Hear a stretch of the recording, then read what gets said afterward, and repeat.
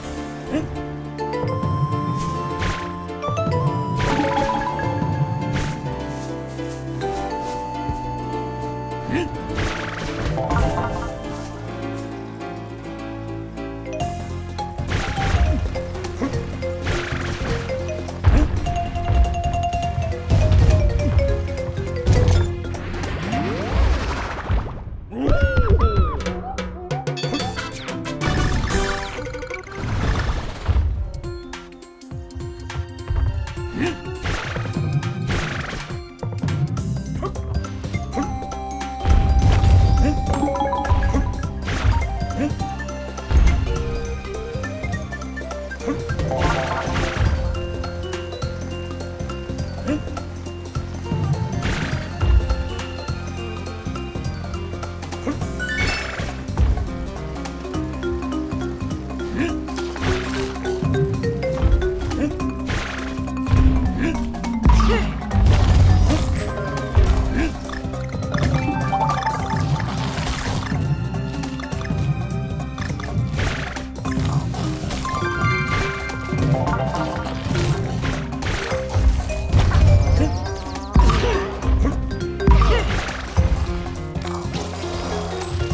And I missed that puzzle piece on this run, but if you just jump for it, you'll drop into a second barrel just below it that will shoot you onwards.